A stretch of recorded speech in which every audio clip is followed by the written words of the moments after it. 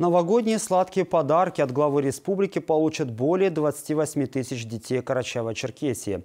В связи с ограничениями, связанными с пандемией, отменили все массовые мероприятия, в том числе и новогодние утренники. О том, как будет организован процесс вручения новогодних подарков, в материале Руслана Джукаева. В этом году из-за пандемии все привычные нам процессы перешли на новый формат. Ограничения коснулись работы вузов, СУЗов и средних общеобразовательных учреждений. Но новогоднее настроение никто не отменял. Более 28 тысяч детей Карачаева-Черкесии получат свои новогодние сладкие подарки от главы республики. Сегодня нашу республику завезли э, новогодние сладкие традиционные подарки для нашей детворы.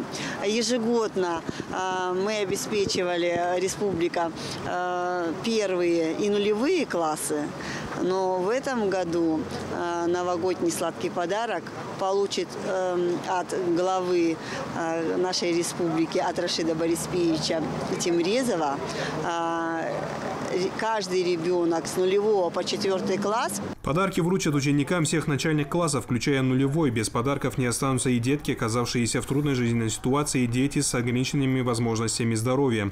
Они получат свои подарки уже дома. В соответствии с заявочками, которые мы получили с муниципалитетов, а те в свою очередь собрали с общеобразовательных организаций, э, дети получат уже в школе каждая школа сама будет раздавать. Сейчас мы отправляем муниципалитеты, а муниципалитеты уже доведут до всех общеобразовательных организаций республики.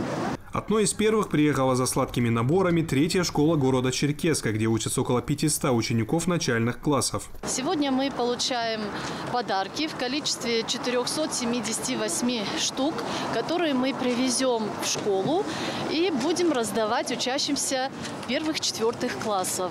А, процесс мы организовали таким образом, что президентский совет школы, это совет РТШ, а, в роли Деда Мороза, Снегурочки и других других персонажей.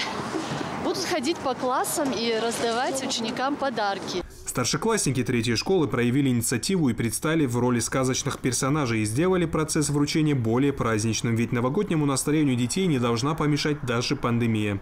Руслан Джукаев, Ислам Урумов, Вести Карачаева, Черкесия.